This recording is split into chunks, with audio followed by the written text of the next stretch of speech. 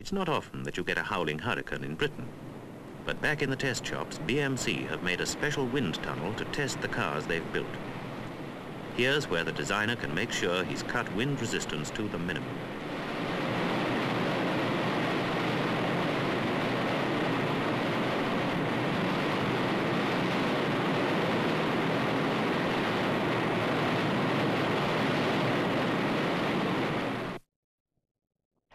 They've taken this car and deliberately frozen her stiff.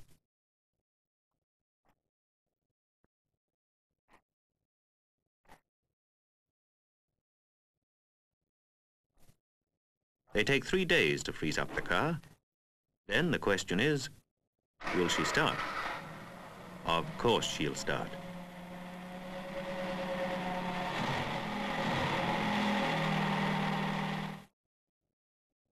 And finally, besides road tests, each prototype has to go through this. This isn't strictly a track for testing cars. It is a tank testing circuit over really rough country. And it is here that the BMC really punish some of their prototypes and eliminate any weak spots in design.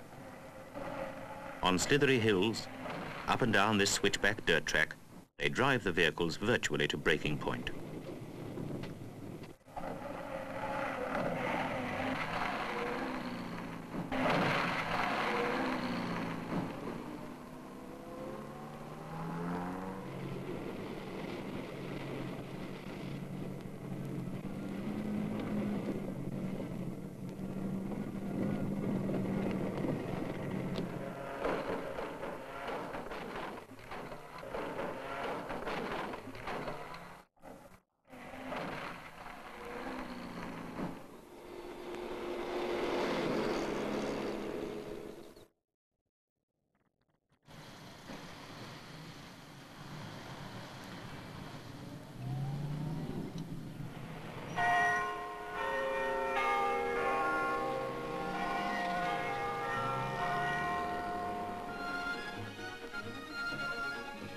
A high grade of goodness, that certain degree of excellence, quality.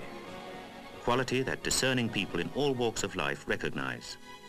From start to decisive finish, from the moment the master tools were meticulously made and tested, to the final moment when the last critical inspector passed them as fit for you, your BMC motorcars have been held to a standard that makes their builders, designers, owners into proud men.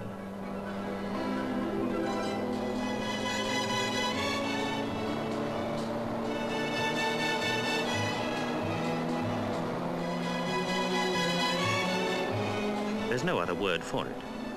Quality. Everybody is agreed.